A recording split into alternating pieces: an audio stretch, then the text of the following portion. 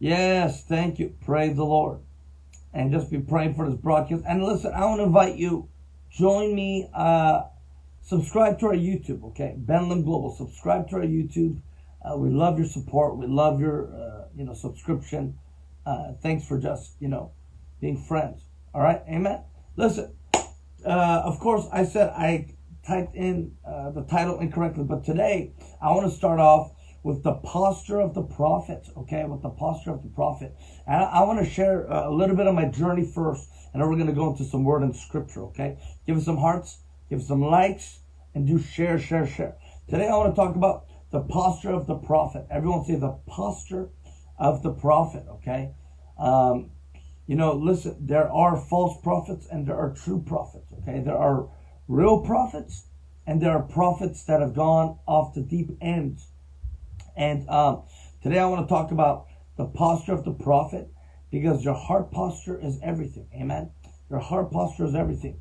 And uh, I want to share a little bit of my journey because literally when I was born again with YWAM Youth with a Mission years ago, uh, we had something called hearing the voice of God.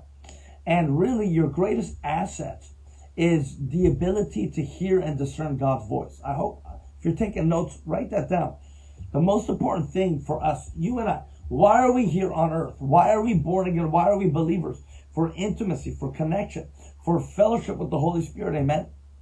And and pretty much when we started in YWAM with our DTS or Discipleship Training School, uh, one of the main things that we learned was to hear the voice of God. Now it's such a sad thing that so many people are confused and they think they hear the voice of God. People are bipolar, schizo, shakara, you know, people are, are all around, you know, they're, they're, they're hearing different voices rather than the voice, rather than his voice. They're, they're scatterbrained. They're all over the place rather than having clarity and really understanding with accuracy and just the realness and you know, is it God? Is it not? Is it me? Is it is it the devil? Is it my flesh? Is it my pizza that I had last night? God. Uh, you know, is, is it is it God or is it me? And you know, so many people they start off and you know they'll even ask me and say, How do I know if it's God or is it me? How do I know if it's God or is it me? And I'm gonna give you some keys um, in a moment that I've come to understand. How do I know if I'm hearing the voice of God? Oosha. How do I know that this is God and not me? And and you know, literally I've been in a journey. And again, I'm sharing my introduction right now, really to the whole series, not just to day one today, of the posture of the prophetic, the posture of the prophet. Ooh, I'm getting hit with the Holy Ghost. Pray with me, y'all, that I'll be able to finish because I could already feel the heart of God. Uh, but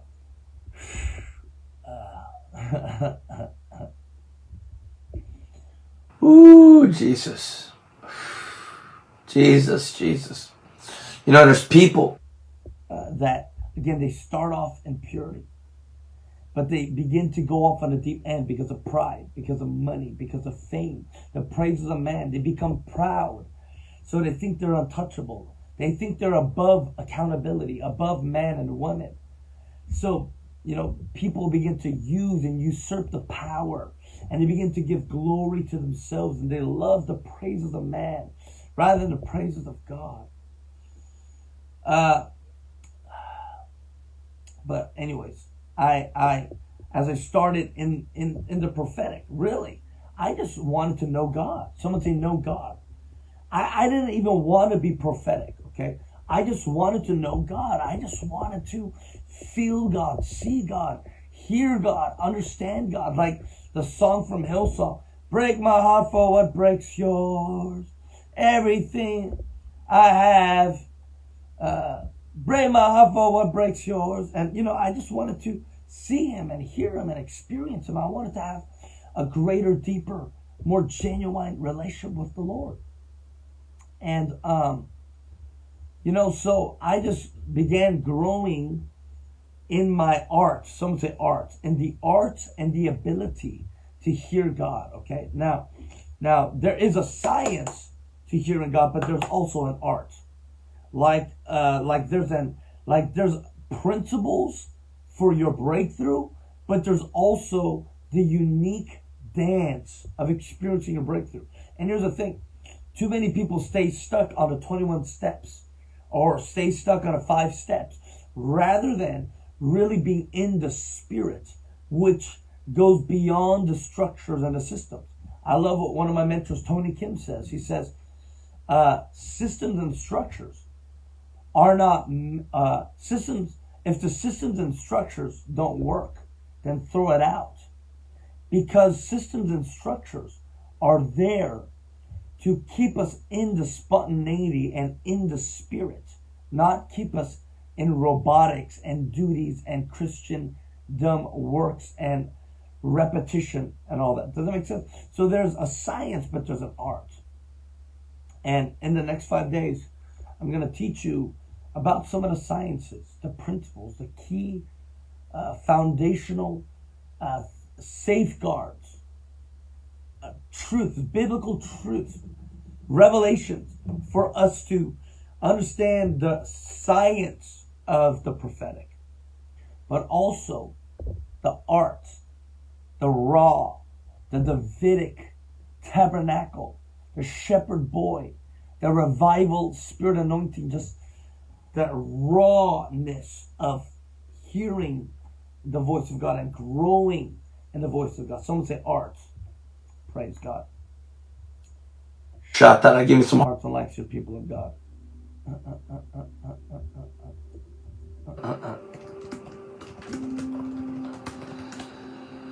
So I started growing in my journey of knowing God, hearing God. Is this you, God? And Loren Cunningham, oh my gosh, the founder of YWAM. Loren Cunningham, one of the greatest apostles of our time, but maybe not even that known by so many uh, more nominal or you know pew sitting Christians. If you're a leader, then you know who Loren Cunningham is. He's the founder of YWAM Youth of the Mission, the greatest missions organization on earth. But he has this book called "Is This Really You, God?" where he would begin to, you know, he would he would hear God and having these experiences, encounters, and he would say, "Is this really you, God?" And just these crazy, wild, radical testimonies. I'm telling you crazy, wild, radical testimonies. But as I grew, as I grew my hunger to want to know the Lord, I began to grow in my ability and my art to hear God's voice.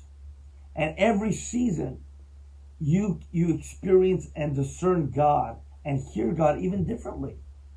You know, when I was uh, when when I first started off, uh, my ability to hear God was was in a sense very difficult. But now, you know, 11 years later, being born again and moving in the prophetic and, and being full time in ministry, now, in a sense, I'm much more confident of, of God's voice and my ability that I'm discerning and hearing well and properly. Does that make sense? And that's the thing, people of God. Are you confident that you're hearing God's voice? Are you sure that you are hearing God's voice? And we're going to get into that. But simple steps. Someone say simple steps. Simple steps to hearing God's voice. And again, today I'm talking about the posture of the prophet. Okay. Simple steps to hearing God's voice. The posture of the prophet. And I started off simply like, God, do you want me to talk to the person? Yes or no? I started just asking simple questions. God, what do you want me to wear today? And it might sound simple and stupid, but it starts with simplicity. It starts with surrender. It starts with submitting our will and our decision making to the Lord and surrendering and simply inviting Him in and simply asking his thoughts, his opinions. I want to know your thoughts. I want to hear your words. I want to know your opinion. God, if you have a word that's higher than mine, if you have a thought that's greater than mine, if you have an opinion, I want to hear it and I want to honor it above my own opinion. So I would simply start off and ask the Lord, simple question. What do you want me to wear today? What do you want me to do today? Simple. What do you want me to eat today? God, do you want me to wear this shirt? Do you want me to wear this shirt? And I will be led by the Spirit. Remember, a son only says what he hears his father saying. So I will be led by the Spirit and I would train my ability to hear God's voice. Does that make sense? I would train my ability to discern the voice of God. And just simple steps. Some say simple steps. And the reason why so many people get things wrong in the prophetic, or maybe you're not hearing the voice of God for the greater measures, start small, start simple. Every day, the little everyday things matter to God. Lord, do you want me to go here? Do you want me to go there? Lord, uh, do you want me to wear this? Do you want me to eat this? What are you saying to me today? What are you thinking about me today? What are you thinking about this person today? Shoot. When I used to activate people in the prophetic and my uh, discipling, I, I would ask them and say, What is God showing you about that person? Ask the Lord. What, you show, what is God showing you about the person? And go for it. Go share it with them. Take a risk. And these are simple steps of surrender, simple steps of training your ability to hear the voice of God. So somebody repeat this with me. All right, repeat this after me. Say, Jesus, I want to hear your voice. I want to know you, and I want to see your face. Someone say, Amen. The posture of the prophetic is simply seeking the heart of God and desiring to know Him and to hear His voice. And when you obey in the simple things, when you obey in the small things, remember, radical obedience determines radical rewards. Simple obedience makes history. If we believe like a child, if we obey like a child, will you see like a child? Will you love like a child? I want to be like a child. I want to breathe like a child. I want to hear your voice like a child. I want to hear your voice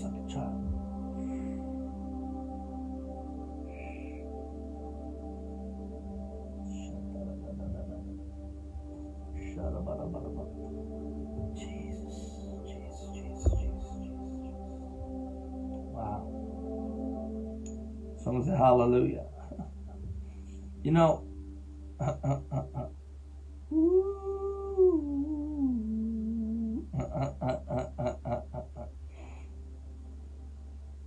you know, John 10 10. We're going to start going through some scriptures here. So that's my little introduction on how I started in the prophetic. I didn't even know there was something called the prophetic. I just wanted to know God and hear him and hear his voice and be obedient. And as I began to do so, as I began to grow my relationship with God, I started moving into prophetic. I started hearing things from people. I started releasing edification words and things began to happen.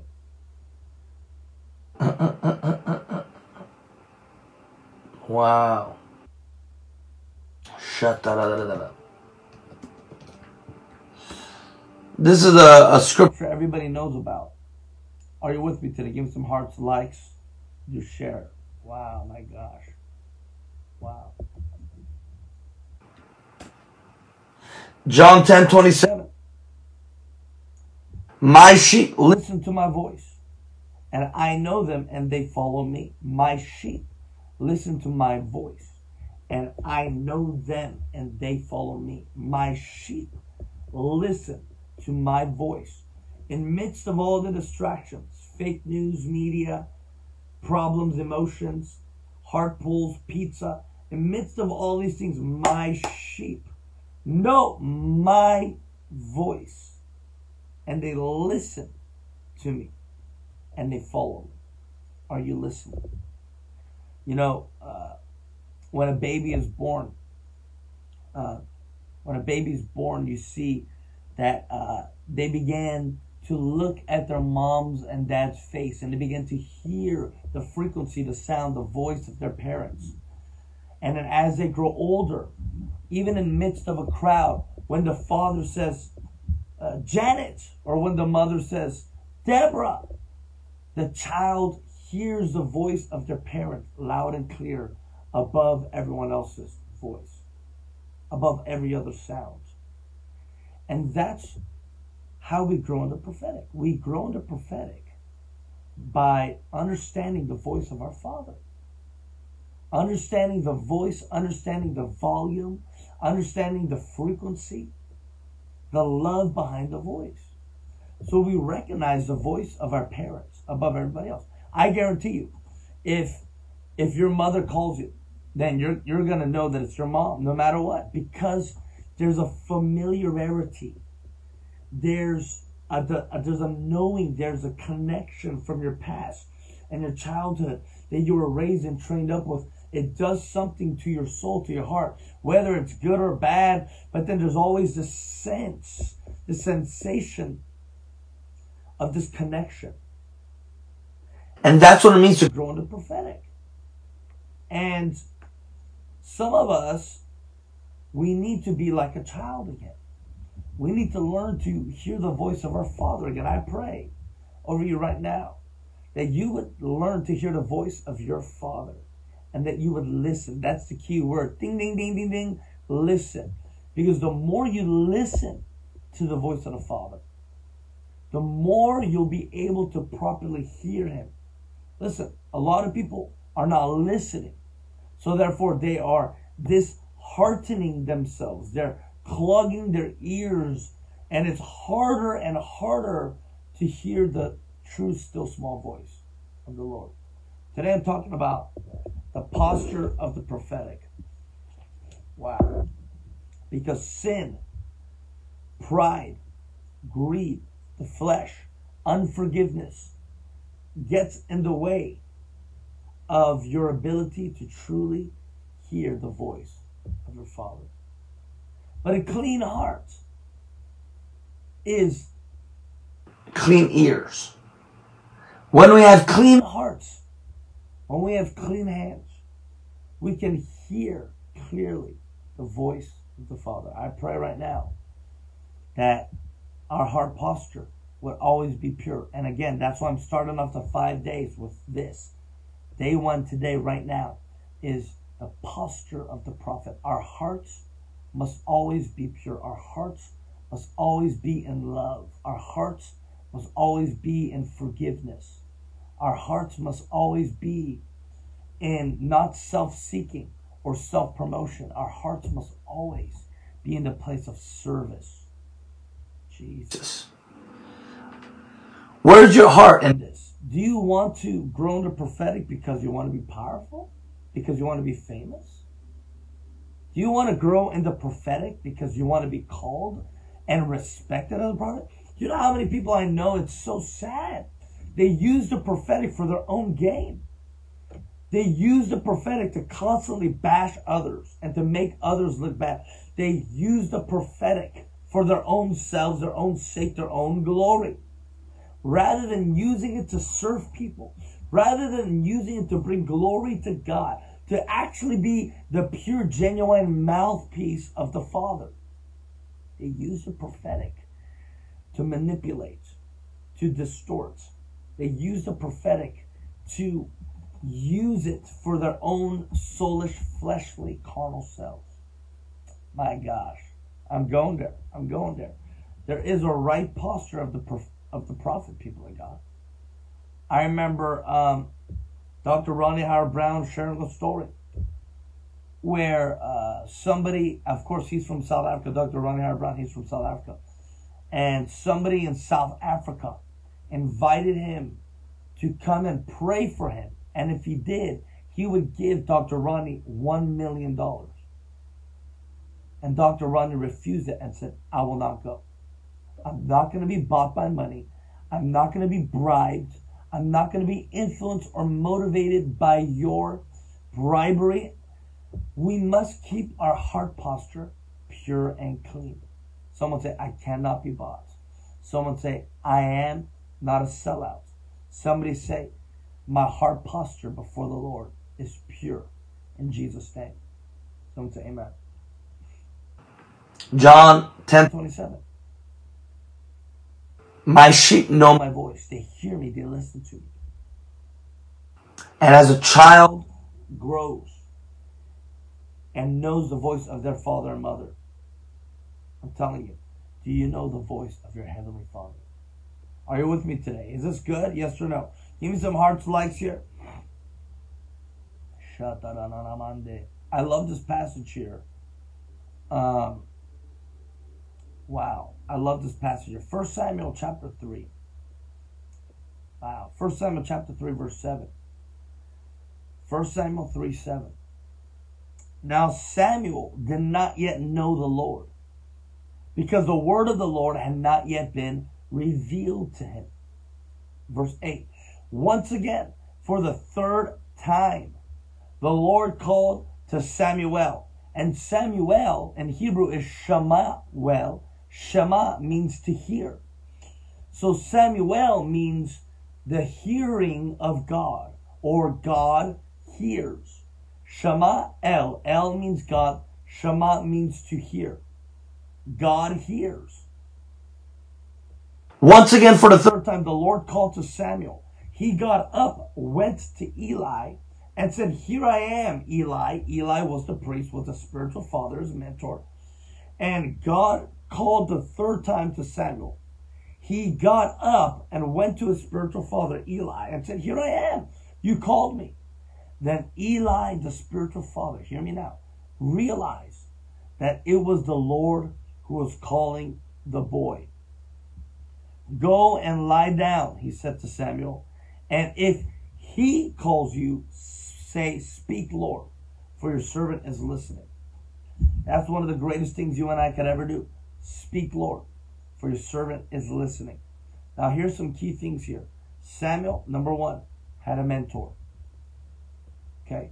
If you want to grow in the prophetic or you want to grow in the art of hearing the voice of God, many times there is a role model, there is a mentor, there is a spiritual father, mother figure, there is someone. And listen, there may not be somebody around you in your life, but you ask for it. When I grew, when I started growing in my relationship with God as a Christian, I started seeking mentors. I started seeking leaders. I wanted to pull on them. I wanted to, you know, uh, pick their brain you know, just ask them questions, not imposing, not acting like I know it all or I know everything, but I just wanted to ask and just draw from their well, draw from their spirit. And I pursued it. Samuel, a young boy, he had a mentor. Who are the mentors of the prophetic in your life? Who are some spiritual fathers and mothers in your life who have been moving in the prophetic in the office of a prophet, who have been moving, who who have been, you know, who have had a certain relationship with God that you desire. You know, who are those people in your life? Pray for it, ask for it, seek for it. Amen. And because that impartation will come over you, just like Elijah and Elisha. That impartation, that covering, that umbrella, that grace will come over you. So Samuel had a spiritual father. Number one, Eli. Okay, and number two, Samuel thought his spiritual father was calling him. This is so good. I love this passage. Samuel thought Eli, his spiritual father, was calling him but Eli realized it was God that was calling. Why is it so important? Because Samuel thought that it was his spiritual father calling him, not God. Why is this important? Because many times the voice of God sounds like the voice of your parents. Many times the voice of God sounds like the voice of your father, mother, or somebody that is dear to your heart. Many times when I hear the voice of God, I actually hear the voice of my earthly father, Pastor Theodore Lim. I hear him speak. And there's there's this sensation, this experience that I begin to have. Samuel thought it was Eli. What? Do you think it was because Uh, do you think it was because God's voice sounded like Eli? No, there was a familiarity, there was a commonality. There was a commonality, a familiarity. There was, you know, shoo. God will many times speak to you in ways that you are familiar with, that you are gifted with. God will speak to you in ways that you're familiar and gifted with. And many times it's through the voices of your coverings, the voices of your elders, of your leaders. And I've said this many times. The reason why many people are in confusion and witchcraft because they have too many spiritual fathers. They have too many spiritual mothers. You're listening to too many voices. You're listening to too many leaders. Stick with one man of God. Stick with one spiritual mother, father. Stay in the light. Listen, that's why John the Baptist, they had disciples, and when they saw Jesus, they left John the Baptist and followed Jesus. It's one way or none at all. Stick to one path. Stick to one school, one sect, one group. Are you following me here? Ah, shut that up. All right, number one. Samuel had a spiritual father, a role model. Let me ask you, who are your spiritual fathers, mothers? Who are your role models? Okay. And you can have more than one. Absolutely. But typically, there will be that one person that will truly walk with you for a greater length of time. Number two, uh, many times the voice of God sounds like the voice of your own parents. And we need to trust in that. We need to trust in that. All right. Shatarababa. And number three, Samuel said, Speak, Lord, for your servant is listening. Come on, you better hear me now. The posture of the prophet is not about demanding. God, speak to me. God, here I am. It's not about being entitled. The posture of the prophet is yieldedness. It's availability. Are you actually yielded? Like, you know, when you're driving in a car and you're driving into the yield lane and on the floor it says yield, which means you wait, you tarry, you yield. You're, you're just, you know, you're not rushing in. You're not assuming. You're not imposing. You're not demanding. Listen to me when I'm talking to you. Listen, I'm here in the room. You better listen to me. No, no. You yield. You make yourself available. It's like a man and a woman where many times men, we just speak or we don't speak. But then a woman, many times, you know, they like to be uh, pandered. They like to be caressed. Women like, to, you know, it's like, you know, uh, play with the hair and, you know, scratch her back and just, just woo, woo, woo, and then all of a sudden it just begins to open and unlock. Speak, Lord, for your servant. Listen, are you available? Or are you distracted? Are you too busy set on your structures, on your systems, on your daily schedule? Or are you making yourself available? Are you yielded to the Lord? Samuel learned to yield himself to God.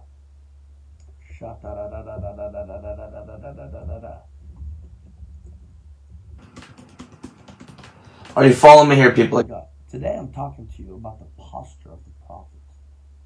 And I'm going to give some keys in a minute on the posture, the right posture of the prophet and number two. And then secondly, after that, I'm going to give you some keys on how you know that you're hearing the voice of God. Now we're going to close. Amen. This day one, the posture of the prophet. First Samuel 3 1. The boy Samuel ministered to the Lord under Eli. In those days, the word of the Lord was rare. There was not many visions. In those days, the word of the Lord was rare. Isn't that interesting? The boy Samuel ministered before the Lord, but the word of the Lord was rare. What does that mean? I, I keep ministering, but I'm not receiving back. I'm giving to the Lord, but I'm not hearing anything in return. And that's like many of you right now. But I declare that in the realm of abundance, that today in the fulfillment of the spirit of the prophecy of Joel chapter 2, that in the last days I will pour out my spirit on all flesh. I pray that the Spirit of God will be poured out like never before. So, as they were ministering, the word of the Lord was rare. Isn't that interesting? There were not many visions, but God began to reveal himself to Samuel. I pray that God will begin to reveal himself to you, where there's a rarity of the word of God. There's a rarity of experiencing God, having relationships with God, where there's a rarity, which means it cannot be found. It's rare. It's it's a rare item. It's a rare thing. It can, it's it's like, wow, it's a miracle. I pray that the word of the Lord will be revealed to you. That he would love you so much. That because he loves you so much, that he chooses to reveal his divine word to you while it is rare and missing and absent to the rest of the world. I pray that he will give it to you. Reveal yourself. Show me your glory, God. So many people are still ministering. They're they're giving, they're but they're not hearing back the word of God. I pray that God will speak to you. Samuel, Samuel, Ivana, Arlene, Ben, I pray that you will hear the still small voice of God, the whisper of his heart. Someone say amen. Listen, I'm talking to you about the posture of the prophet. Praise the Lord. Let me give you let me give you some keys here, all right? I want to give you five keys here. Praise the Lord. I want to give you five keys, and I could give you so much more. And honestly, this needs to become a book, and it will be, okay? I want to give you five keys uh, to five keys to the posture of the prophet, all right? Number one, humility, all right? Prophets must be humble, all right? We need to be humble. We need to go low. We need to be people who seek his face. You, prophets don't know it all. Prophets are hungry and we continue to seek God's face. We're hungry. We are humble. All right, listen. The Bible says that he uh, detests the proud in heart. When you're proud, then your revelation begins to get skewed and your revelation begins to get uh, dirty. Okay, it's tainted. But when you're hungry and humble, he draws near and you begin to receive pure revelation. Some say pure revelation. Someone say, I want to receive pure revelation. Your humility attracts God.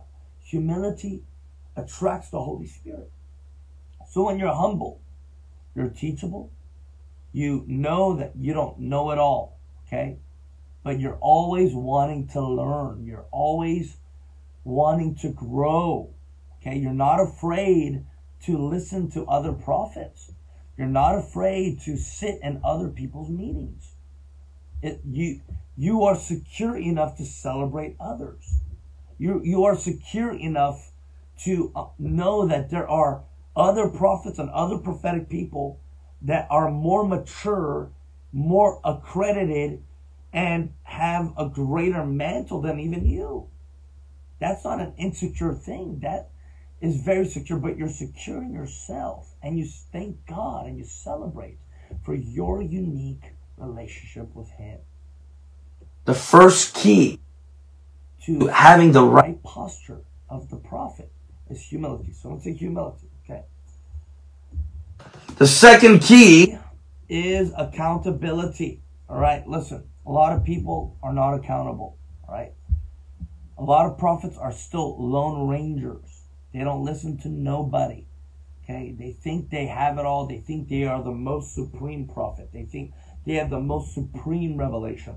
My revelation, the things God's showing me, is greater than anything that God's showing you. I'm the mega prophet. I'm the major prophet. I'm the supreme numero uno pizza prophet. I'm the master prophet. Come on. That's bogus. That's pride. And we need to be people that are accountable. Listen, the higher you go, the more accountable you must be. That's why It says whenever you prophesy in the midst of a corporation, in the midst of a corporate crowd, uh, you know, let two or three be there to judge the word together. My gosh. And we need to be accountable to the words that we say. Meaning, uh, is it true? Uh, did I miss it? Uh, did, did it come to pass? Etc. And and we need to be accountable. We need to be in accountability. Your anointing goes higher when you are in accountability. Okay? Amen. The third key to having the right posture of a prophet is having an unoffended heart. My gosh, an unoffended heart. Listen, there are too many people that are offended, too many prophets. You meet prophetic people and they say, oh, you know, sister so and so, brother this and that. And they say, oh, you know, that church, those people, they're this or that. There are too many offended, bitter, grumpy prophets Too many prophets. are offended and bitter. So now their oil and their well and their flow is tainted. We need to be. Prophets that are unoffendable, which means I keep my heart in purity, I keep my heart in check. My heart is filled with love, my heart is filled with grace, my ashaka. Whoosh! My heart is overflowing with compassion. Come on, people of God. And too many people are offended. You know, they're they're bitter. They're too busy criticizing and judging. You know those judging pro and listen, I believe in the judgment of God. I do. And I believe that there are prophets who predominantly have a position to warn or to judge and correct. I correct all the time. There are prophets that many times are more severe on the correcting and the judging and the warnings, however. There are. But we must do it out of love. That's the true posture of the prophet. It's out of love, it's out of brokenness and weeping. It's out of brokenness, not out of being offended. So now I'm going to bash everybody. I'm going to destroy and discipline and I'm going to rebuke everybody because I'm offended. Keep your heart. free from offense. Prophets, the right posture of the prophet is to keep our hearts free from offense. Come on, somebody. Someone say amen. I declare right now that your heart is free from the spirit of offense. Someone say amen. Shut that up. The Fourth key to having a right posture of the prophet is love. Some to love. Listen, people of God, we need to love God more than our ministry. And I'm going to say it again. We need to love God more than our ministry. We need to love God more than the persecutions or the blessings that come with obe- obeying God. We need to love God more than our platforms. We need to love God more than the praise of the man. We need to love God more than the ministry itself. Um, and we need to love. Pro- the pure uh, posture of a prophet is to love, to love, to love, to love. Greater love is no one than this that he lays down his life for his friends. So a prophet is a servant. Okay? I prophesy. to serve, not to serve my big head or my ego or to say, wow, I got all of it right or wow, you know, I was so spot on today. No, it's not about that. It's about loving. And when you and I are in love, he reveals his secrets to us. When we are in love with God, he trusts us with the nuggets of gold, the nuggets of glory. He trusts us with the mysteries and revelations. some say love. We as prophets need to love the world, not hate it. Okay? We need to love people, not hate people. We need to love all people. We as prophets need to have hearts of love. Hearts of love where where we continue to serve and give and bless no matter I know some people used you and hurt you but still love give bless come on somebody shabababa. And lastly, the fifth key to having a right posture of the prophet. It is your integrity. Someone say integrity. What is integrity? It's being right before god. It's being honest with the lord and honest with yourself. It's knowing that you know i don't get it right all the time. I don't i'm not perfect. I'm a man i'm a woman. I'm not perfect. And integrity is sticking to the values that god has given you so that it keeps you in the line of integrity.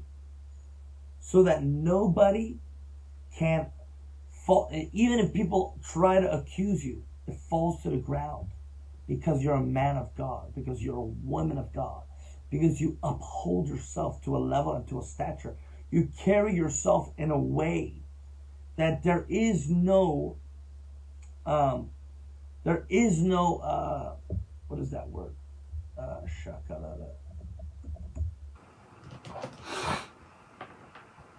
there is no appearance of evil. But you carry yourself in such a way of integrity that it honors God and it honors the prophetic and it honors people and it honors you. Some say honor. Integrity is is what keeps us in the right posture of the prophet. and now In day one, which is the posture of the prophet, in this whole five day series of growing in the prophetic, I want to give you five ways that you know that it's God speaking to you. Okay? And uh, this is going to be so good because I know many of you, uh, you know, you're hungry for the Lord. You want more of Jesus. Amen. And you want to grow in the things of God. And that's why you're on this broadcast right now on Facebook or on YouTube. It's because you want to grow in the prophetic. But how do you know that it's God? And not you, not your flesh, not your pizza. How do you know that it's Jesus speaking to you? The Holy Spirit speaking to you. And not yourself. You're not making it up, right? You guys ready for this here? All right. Number one, you know that it's the voice of God because it is the word of God. Okay? The written word of God. All right? Now, there's a lot of people who only hear God's voice, but they don't know the word. That could go into witchcraft and uh, the occultic and confusion. The more you know God's written word, the more you will discern God's spoken word. The more you know God's written Torah, written word, how he has revealed himself and related himself with the people of God for the last 5,000 years. The more you understand that and the word of God, the more you know his spoken word. Remember, when the devil came to tempt Jesus, what did Jesus say? It is written. Jesus knew the word of God. Listen, even the devil knows the word of God. The devil knows the word of God better than you and I do. But it needs to align with his word. And it is not contrary to his word. It is not opposite to his word. It is true. It is aligned. It is parallel. It reflects the word of God. The word of God is like a chariot. And uh, the voice of God is like the rider. There's a marriage there. Someone say amen. So number one, the word of God. How do I know this is God that's speaking to me? Number one, know the word. Know the word. All right. Number two, you surrender. Someone say surrender. Okay. Um, as you surrender and submit your will, then, and if it keeps coming back to you, it may just be God. You die to yourself. You die to your flesh. You die to the right of being right. and you surrender and say, God, I surrender. I don't know anything. Uh, you know, I'm your son. No, speak, Lord. I'm your servant. And you surrender. And as you surrender, and the true right thing will continue to come back. There's times when I'm praying or I'm ministering. And as I'm ministering, that thought keeps coming back to me, or that name, that issue, that something just keeps coming. It doesn't leave me. I can't kick it. I can't, you know, it, it, it sticks with me. And I, but I keep surrendering it. That's how I know it's God. Because it stays, although I surrender it. So, second key, how do I know that this is God speaking? You live in a life of surrender. You keep surrendering. You keep giving it up. You keep giving it up. All right, number number three. How do you know that this is the voice of God that's speaking? Number three, it makes you more like Jesus. all right, a prophetic word makes you more like Jesus. When you hear God speak to you, it makes you more patient, more kind, more gentle, more loving, more sacrificial, more humble. When you actually hear the voice, when you hear God speak to you, it it humbles you, it wrecks you. It doesn't puff you up like, like I mean, I'm the master prophet. You worship me today. No, no. Like hearing the voice of God, it it puts a fear in you. It puts a terror in you. My gosh. It makes you more like Christ. It makes you more humble, more caring, more kind, more gentle. Whew. I doubt You heard from God if you're actually acting like the devil. You're acting like a heathen, but you're claiming that you heard God. You're living in sin, but you're claiming that you have a relationship with God. Right. Okay. See you later, Felicia. Okay, Karen. Sayonara, buddy. Peace out. When you hear the word of the Lord, you become more like God. Remember, you become like what you listen to. who are you listening to? Number four, Uh, confirmation and fruit. Okay? Is it bearing fruit? Okay, listen. There's some bigger things in my life, you know, like confirmation and fruit. What does that mean? That means that uh, it's being confirmed by multiple people in your life, or there's like a, a the hand in a glove. It's a perfect fit. It's like the Cinderella foot in the shoe, the stiletto. Bam! It's like there's confirmation. It's just like you know. There's a peace. There's a divine knowing. It's like aha! You have a revelation moment. You're like, oh my gosh, I was made for this. It was like eureka. It's like whoa! And then there's fruit that begins to happen. Like there's real fruit, there's good fruit, not bad fruit. Like there's good fruit. Like man, it's opening up doors. It's blessing people. You know, people are blessed. There's miracles happening. Like there's doors opening. You're moving forward in life. You're sticking closer to Jesus. You're loving God. Like, you know, how do you know it's God speaking to you? How do you know these manifestations shaking? Well, are you loving God? Are you growing in the Lord? Is it is it opening doors? Is there fruit to it? Is there a fruit of holiness? Is there a fruit of righteousness? Is there fruit? Some say amen. Fruit. And you know, sometimes fruit is, you know, having a heart for souls. It's my gosh. Is there fruit in your charismatic meetings, in your revival meetings? Is there fruit? Is something happening to you? Are you changing? Like, man, there's, whew, someone say, I'm bearing fruit. Like, confirmation of fruit. My gosh. And the fifth, The fifth and the last, key to you knowing that it is God speaking to you and not your voice, not your flesh. You know, you know, you know that it's God speaking to you. it is, it glorifies, Jesus. It glorifies Jesus. It lifts up Jesus. Every true prophetic word from God brings glory and honor to Jesus, to God. It glorifies him. It brings honor to him. It, it makes you want to worship more. It makes you want to praise more. It makes you want to give yourself to the gospel more. It makes you love the Lord and it brings honor to his name. People begin to be in awe of God. People begin to love the Lord even more, worship God even more. People, wow, shut up, up. It glorifies Jesus. It honors Jesus. It honors Jesus. A word from God brings honor to God. It may be hard, it may be difficult to obey it, but it brings honor to Jesus. It Brings honor to Jesus.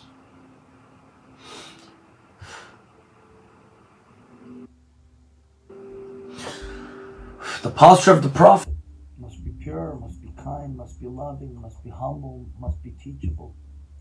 Posture of the prophet must be subservient, must be a servant. Must be an accountability. Long for fathers and mothers, long to be a son, long to be a daughter, long to. Prophets and prophetic people bring glory to Jesus. Ultimately, if your prophetic ministry, if your if your ministry isn't bringing glory to Jesus, then what is?